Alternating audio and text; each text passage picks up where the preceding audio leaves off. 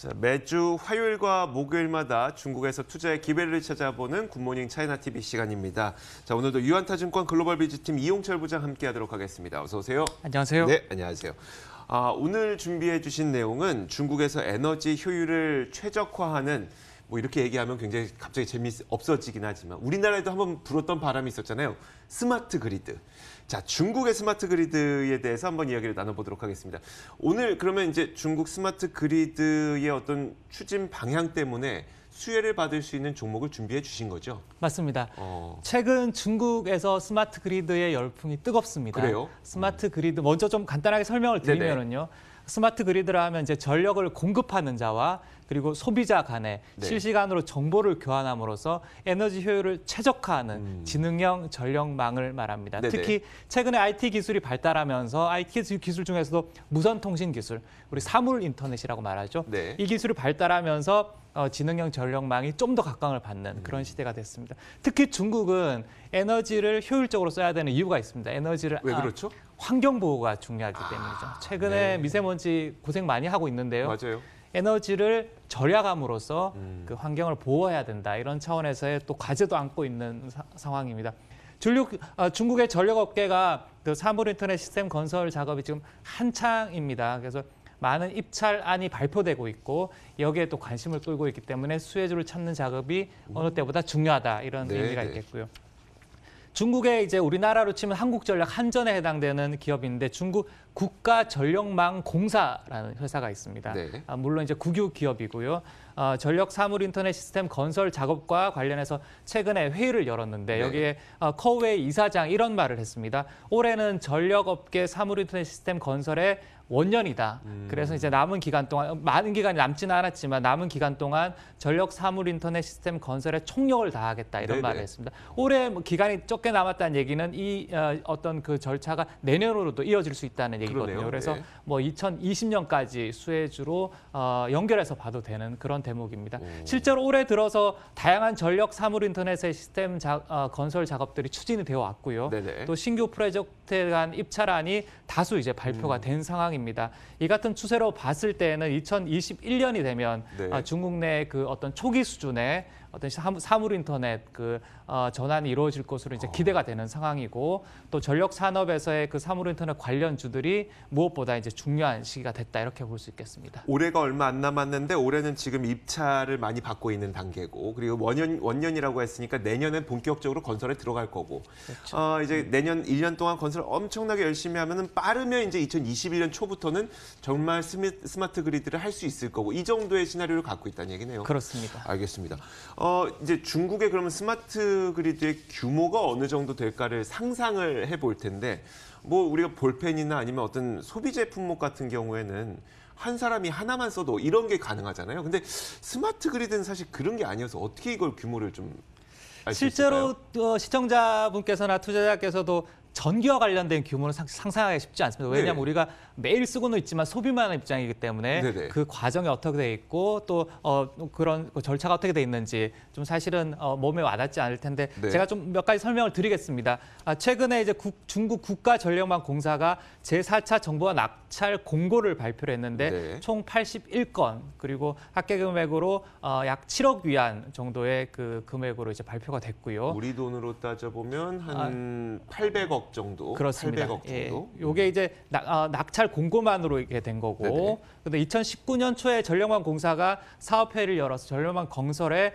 전력 네트워크 강화를 이제 주요 안건으로 하는 회의를 이제 진행했고요. 네네. 아, 2021년이 되면 전력 네트워크의 그 초보적 단계가 구축이 될 것이다 이렇게 얘기를 했고 업무 협조나 데이터 흐르- 데이터 흐름이 기본적으로 실현이 될 것이다 이렇게 돼 있고 그다음에 스마트 에너지 통합 시스템 플랫폼이 이제 기, 기본적인 기능을 갖춘다 그리고 smart grid와 어, 업무와 그리고 이제 그와 관련되는 새로운 업무들이 이제 정의가 되고 여기에 이제 뒷받침할 수 있는 그런 기반을 마련할 것이다. 그게 2021년이고요. 네네.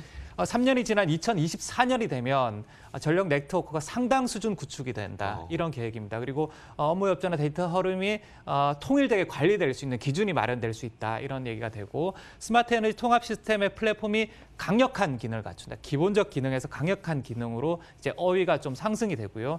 그래서 전력 데이터를 공유하는 에너지 네트워크의 생태계가 구축이 된다. 네네. 이런 이제 어떤 청사진 어, 어. 프로젝트를 가지고 있는 상황입니다. 어, 전망을 한번 들어 볼게요. 그러면 어느 정도의 전망이 이루어지고 있을까요? 아, 이제 일단 그 전력 네트워크의 본질부터 이제 좀 말씀을 드리면은요. 네네. 어떻게 하면 송배전 자원을 효율적으로 해서 어, 정보화를 통해서 운영의 효율화를 향상시킬 것인가. 이게 이제 가치 창출의 기본적인 목표가 됩니다. 그래서 전력 분야의 사물 인터넷 접속은 전력 시스템이 우리가 이제 과정을 보면 발전을 하고 네. 송전을 하고 변압을 하고 그렇죠. 그다음에 이제 배전을 하는 네네. 그래서 공급자에서 소비자까지 연결되는 그 여러 가지 고리가 있는데 여기에 어떤 효율적으로 관리를 할 것이냐 여기에 어떤 정보를 넣어서 우리가 그 관리 시스템을 안정적으로 하면서 에너지 효율을 극대화할 것이냐 이런 어, 얘기거든요. 그래서 네네. 안전 운행 효과를 높인다 이런 표현을 쓰는데 아, 최근에 어, 태양광이나 풍력 발전이 좀 주춤하고 있습니다. 네. 사- 사실은 이제 태양광과 풍력 발전의 발전소가 실제 소비자와 거리가 멀기 때문에 이 과정에서 에너지 효율이 좀 떨어지고 있고 음. 네네. 또 안정성이나 집중도가 낮은 에너지여서 전기를 생산하기에는 좀 부족하다는 인식을 강하게 하고 있고 중국에서요. 네. 그래서 이제 어, 좀 그, 그래서 전력 네트워크 상에 퍼져 있는 어떤 우리가 말할 때 이제 그 학술적으로 말할 때는 가상 전기 공장에 의존한다 이런 표현을 쓰는데 네네. 이제 배전망 시스템과 분산된 전원, 에너지 저장 설비에 제어 가능한 부하를 이제 취합한다. 그래서 네네. 음. 뭐 어떤 에너지 공급을 최적화하는 그런 이제 어, 어떤 시스템을 구축하는데 우리가 주안을 두고 있습니다. 아, 그러니까 좀 우리가 이렇게 이해를 해야 될까요? 물론 우리가 깨끗하게 환경 보호를 하면서 전기를 편안하게 쓰려면 신재생 에너지로 가는 게 맞겠죠. 근데 어, 워낙 지금까지 해보니까 태양열, 아, 이거 효율 떨어진다. 만드는 것도 떨어지는데 배전하는데 더 떨어진더라. 뭐 풍력도 마찬가지고요. 거리가 너무 멀더라. 그리고 효율 안 좋다. 그러면 이걸로 아무리 우리가 많이 설치를 해봐야 전기를 사람들이 충분히 사용할 수가 없기 때문에 우리가 쓸 수 있는 건 그러면 똑같은 화력 발전을 하건 아니면 똑같은 석탄 발전을 하건 간에 효율을 높여서 훨씬 더 어, 같은 양의 전기를 생산하더라도 훨씬 더 많은 사람들이 생산할 수, 쓸수 있게 해주자 이런 취지로 지금 간다는 건가요? 예, 잘 정리해 주셨습니다. 어. 그게 이제 오늘 얘기의 핵심이 되는 네네. 부분이고요. 아, 그래서 이제 데이터를 한번 살펴보면은요. 2018년 말 전력의 빅데이터 기준으로 보면은 아, 국가 아, 전력망 접속 다- 아, 단말 잔치가 아, 5억 4천만 개입니다. 네네. 그리고 데이터 수집 은 일일 증가량이 60테라바이트가 음. 초과되고 있고요. 가입자는 이제 4억 5천만 가구를 보이고 있는 상황입니다. 네. 그래서 전력 어, 하- 국가 전력망 공사 계획에 따르면 2025년까지 접속 단말 장치가 10억 개, 10억 세트 이제 만드는 게 목표고요. 그리고 네. 2030년이 되면 20억 세트를 음. 만드는 것으로 이제 전망이 되고 있습니다. 전력망 공사 데이터 이용률이 10% 증가하면은 그와 관련된 전력망 수익은 20% 증가하는 것으로 아? 나타날 수 있어요. 음. 그래서 레버리지 효과가 있기 때문에 어떤 그 기업들의 수익성 향상에도 분명한 효과가 있을 것이다. 네네. 이렇게 이제 전망이 되는 상황입니다. 음, 알겠습니다. 자, 이제 기업에 대한 이야기를 한번 마- 들어볼 텐데 조금 전 말씀하셨던 이 뭐 단말기가 뭔진 잘 모르겠어요. 단말 장치가 뭔진 모르겠지만 그게 10억 개 필요하고 20억 개 필요하고 하다 보니까 이쪽에서 뭔가 이런 것들을 만드는 기업이 수혜를 받지 않을까 싶은데요.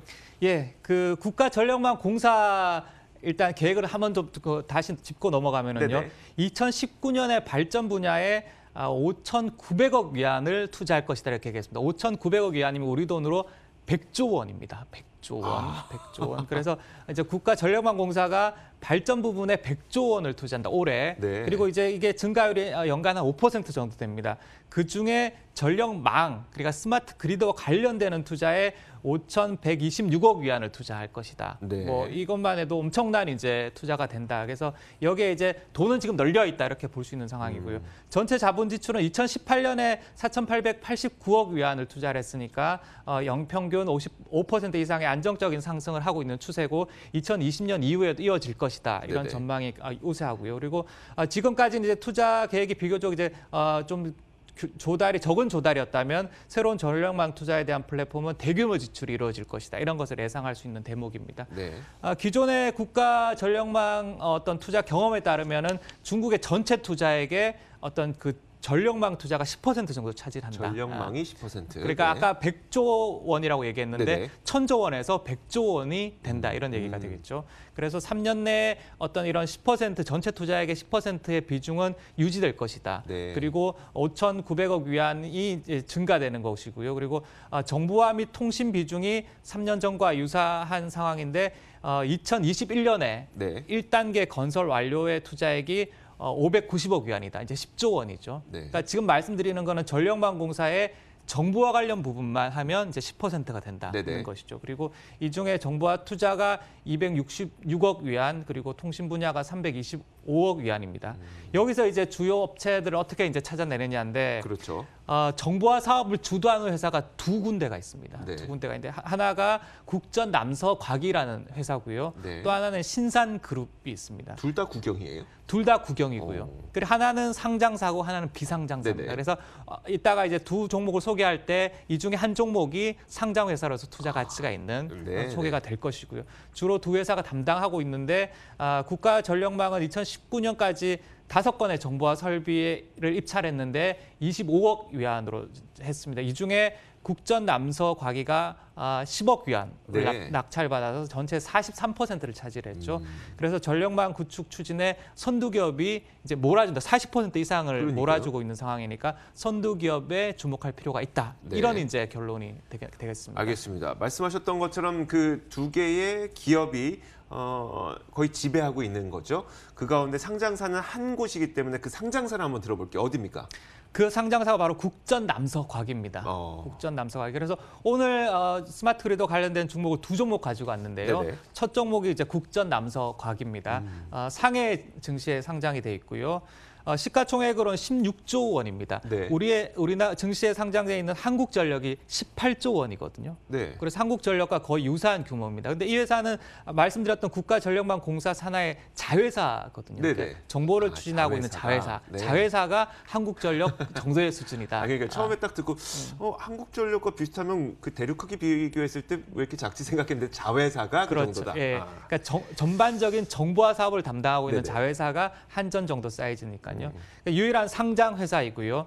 그리고 주요 사업 분- 분야는 말씀드린 이제 스마트 그리드가 네네. 핵심이고 그다음에 친환경 에너지, 전력 전자, 그다음에 에너지 전략 사업 부분이고요. 특히 이제 전력망 자동화 시스템 네. 구축하는 데에 시장 점유율이 30% 수준입니다. 그리고 국가에너지국이 추진하고 있는 배전망 건설 계획에 따라서 2020년까지 배전화 자동률을 90%까지 확대함에 따라서 네. 이에 대한 그 정책 수혜가 기대되는 그런 어. 기업이 되겠습니다. 2020년이면 당장 내년이네요. 그렇습니다. 어, 예. 알겠습니다. 첫 번째 기업으로 국전 남서 과기를 받고 그럼 두 번째 기업으로는 어떤 기업을 들고 오셨을까요? 이제 두 번째 기업은 하남 평고 전기라는 회사입니다. 네네. 이 회사는 어, 비교적 중소기업입니다. 아, 시가총액이 아, 1조 5천, 오. 그러니까 뭐 1.5조 원이고요. 우리로 따지면은 어, LS 산전이라는 회사가 있습니다. 네네. 우리가 이제 국내 스마트 그리드의 테마주를 형성할 때. 뭐 대표적으로 거론됐던 회사가 LS 산전인데 네네. LS 산전이 딱 이제 1.5조 음. 정도거든요. 그래서